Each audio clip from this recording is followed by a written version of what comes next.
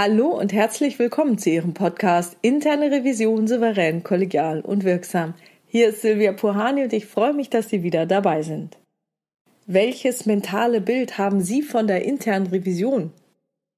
Für mich sind die Hauptaufgaben der internen Revision, Schaden vom Unternehmen fernzuhalten und für Erkenntnisgewinne zu sorgen.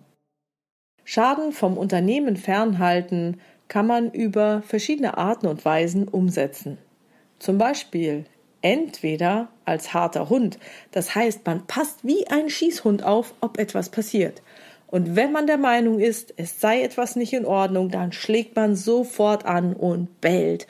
Und wenn man jemanden in flagranti ertappt, dann beißt man sich an dessen Hosenbein fest und lässt sich nicht mehr abschütteln. Eine andere Möglichkeit, Schaden vom Unternehmen fernzuhalten, ist mit den Revisionspartnern und Revisionspartnerinnen zu kooperieren und gemeinsame Erkenntnisgewinne zu erarbeiten.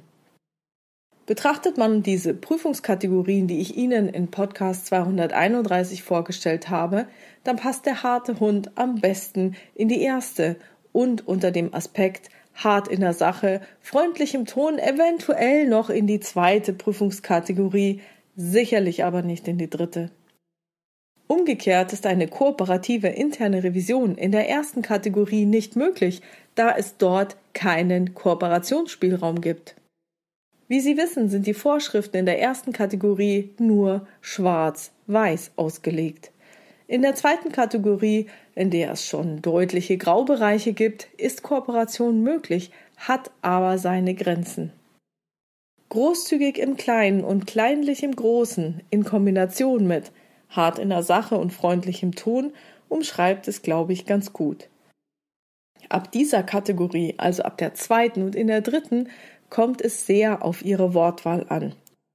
Hier besteht die Gefahr, dass Sie Widerstand bei Ihrem Gesprächspartner oder Ihrer Gesprächspartnerin erzeugen, wenn Sie als harter Hund auftreten oder in Ihrer Wortwahl zeigen, dass Sie Ihren Gesprächspartner oder Ihre Gesprächspartnerin bereits vorverurteilt haben.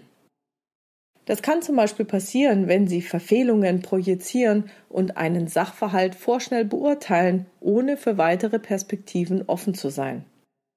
Was bedeutet das also jetzt? Sofern Sie nicht dauerhaft Prüfungen ein und derselben Kategorie durchführen, was ich für ziemlich unwahrscheinlich halte, dann sollten Sie flexibel kommunizieren können. In gewissen Fragen und bei gewissen Themen werden Sie hart bleiben müssen. Allerdings müssen Sie in anderen Prüfungen Ihren inneren Pitbull zurückpfeifen können, um zu kooperieren. Und genau diese Fähigkeit, flexibel kommunizieren zu können, ist meiner Meinung nach eine der großen Herausforderungen für Revisoren. Denn jeder und jede von uns präferiert seine, ihm und ihr wesensgemäße eigene Art der Kommunikation. Um jedoch ihr Potenzial voll ausschöpfen zu können, sollten sie immer situationsgerecht kommunizieren können. Und dazu gehört auch die Prüfungskategorie. Erkennen Sie, wann Sie wie kommunizieren sollten wie gut gelingt es Ihnen, in Ihrer Kommunikation variabel zu agieren? Können Sie bereits die gesamte Bandbreite abdecken? Können Sie der harte Hund sein, wenn es angebracht ist? Können Sie großzügig im Kleinen und kleinlich im Großen in Kombination mit hart in der Sache und freundlichem Ton sein, wenn es angebracht ist? Können Sie kooperieren und gemeinsam mit Ihrem Revisionspartner und Ihrer Revisionspartnerin zu Erkenntnisgewinnen kommen, wenn es angebracht ist? Wenn Sie persönlich oder für Ihre Mitarbeiter Unterstützung wünschen, dann melden Sie sich gerne bei mir. Ja, das war's schon wieder für heute. Ich freue mich über Ihre Ideen, Gedanken und Kommentare zu diesem Podcast auf meiner Webpage oder in der LinkedIn-Gruppe Interne Revision souverän, kollegial und wirksam unter dem Post zu diesem Podcast.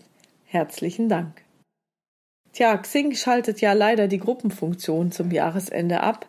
Wenn Sie bisher diesen Weg genutzt haben und informiert bleiben wollen, dann kann ich Ihnen nur empfehlen, meine Newsletter zu abonnieren. Das geht über meine Webpage www.puhani.com. Dort werden Sie dann über neue Episoden, weitere Hintergründe, Termine oder andere Neuigkeiten informiert werden. Wenn Sie mir etwas mitteilen wollen, haben Sie die Möglichkeit, mir eine Mail zu schreiben an info@puhani.com oder Sie nutzen eines der Kontaktformulare auf meiner Webpage www.puhani.com. Ihnen ist es freigestellt, ob Sie Ihre Absende-Mail-Adresse angeben wollen oder nicht. Wenn es Ihnen gefallen hat, dann teilen Sie diesen Podcast gerne unter Ihren Revisionskollegen und Kolleginnen.